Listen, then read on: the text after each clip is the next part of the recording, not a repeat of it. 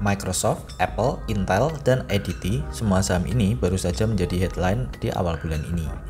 Di video singkat ini, saya akan ringkas apa saja hal-hal menarik dari keempat saham ini yang mungkin juga menarik bagi teman-teman.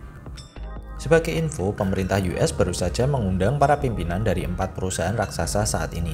Mark Zuckerberg dari Facebook, Jeff Bezos dari Amazon, Tim Cook dari Apple, dan Sundar Pichai dari Alphabet untuk masalah antitrust atau simpelnya regulasi agar keempat perusahaan ini tidak memonopoli pasar karena mereka terlalu mendominasi. Teman-teman bisa melihat bagaimana tanggapan dari keempat CEO ini di YouTube. Pidato dari Jeff Bezos paling menarik menurut saya. Pemegang saham Amazon pasti tambah yakin dengan Amazon di bawah pimpinan Jeff Bezos. Bagi teman-teman yang belum memiliki broker luar negeri, saya sudah pernah membahas beberapa broker yang bisa dijadikan pertimbangan. Saya sendiri menggunakan eToro karena yang paling mudah. Link saya sertakan di deskripsi bagi teman-teman yang ingin jalan-jalan ke eToro. Saya juga sudah membuat playlist sendiri khusus untuk video-video yang bahas saham-saham luar negeri. Oke, saham pertama adalah Microsoft, ticker MSFT. Berita paling hot awal Agustus ini adalah rencana Microsoft untuk membeli TikTok. Wacana ini begitu hangat diperbincangkan setelah Presiden Donald Trump mengancam akan memblokir TikTok dari Amerika karena khawatir akan penyalahgunaan data yang didapat TikTok dari besarnya pengguna aplikasi ini oleh penduduk Amerika. Teman-teman bisa lihat melalui data berikut yang menunjukkan betapa masif pertumbuhan pengunduh aplikasi ini terutama di kuartal 1 2020. User juga meningkat pesat di Amerika. Perusahaan pembuat TikTok adalah ByteDance asal China. Kita tahu bahwa Amerika dan China sedang tidak akur. Maka dari itu, Donald Trump mewajibkan bisnis TikTok di Amerika untuk berada di bawah perusahaan Amerika. Salah satu yang paling dekat dengan pembelian ini adalah Microsoft. Karena rumor ini, saham MSFT langsung gap up. Teman-teman bisa lihat pada grafik sahamnya berikut. MSFT adalah salah satu saham favorit investor saat ini karena bisnisnya yang sangat solid. Nah, jika Microsoft sampai jadi membeli TikTok, maka mereka akan memiliki sumber pendapatan baru di bisnis sosial media dan langsung berhadapan langsung dengan bisnisnya Facebook. Saham yang lagi heboh berikutnya adalah wacana Apple untuk melakukan stock split 4 banding 1. AAPL saat ini harganya di sekitar 400 dolar. Setelah melakukan split 4 banding 1, maka satu lembar Apple akan bernilai 100 dolar. Apple ini sudah pernah melakukan split 4 kali sebelumnya, yaitu di 2014 dengan 7 banding 1, tahun 2005 dengan 2 banding 1, kemudian tahun 2000 dengan 2 banding 1, dan di 1987 dengan 2 banding 1.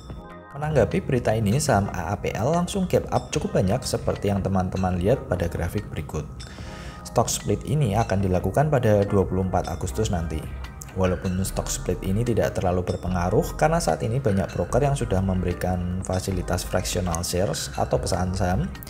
Misalnya di eToro kita bisa membeli sahamnya hanya dengan dana 50 dolar. Tapi bagi yang sudah punya pecahan sahamnya AAPL, mohon diperhatikan karena saya tidak tahu apa yang terjadi pada posisi tersebut. Beberapa sumber mengatakan bahwa jika Anda memiliki posisi fraksional pada AAPL, maka saat stock split, posisi Anda akan otomatis dilikuidasi dan teman-teman harus masuk lagi pada harga yang baru. Tapi untuk ini masih belum pasti.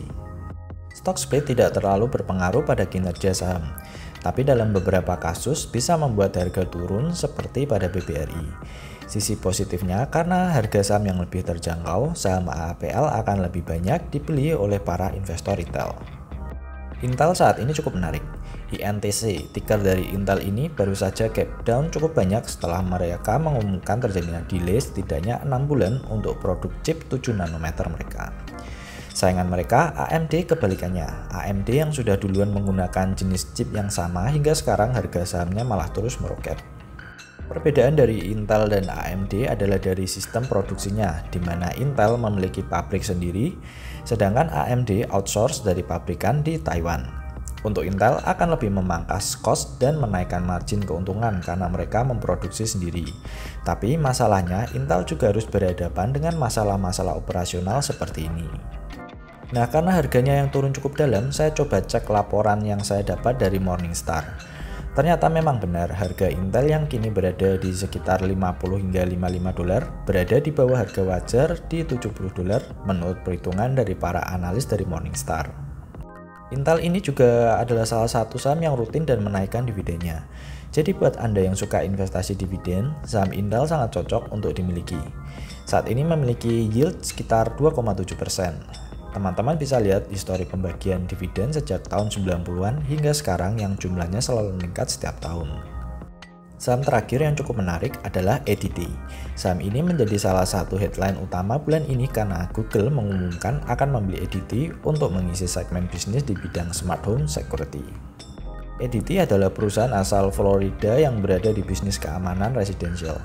Mereka menyediakan keamanan elektronik, perlindungan dari kebakaran, dan beberapa macam layanan yang berhubungan dengan smart home security. Dengan deal ini, Google akan memiliki kepemilikan 6,6% dari EDT. Saham dengan ticker EDT langsung naik dua kali lipat dalam sehari setelah berita ini. Kejadian ini hampir sama dengan Fitbit yang juga dibeli Google tahun lalu yang menyebabkan harga saham Fitbit juga naik dua kali lipat. Oke, itu tadi beberapa saham yang menjadi headline awal Agustus ini.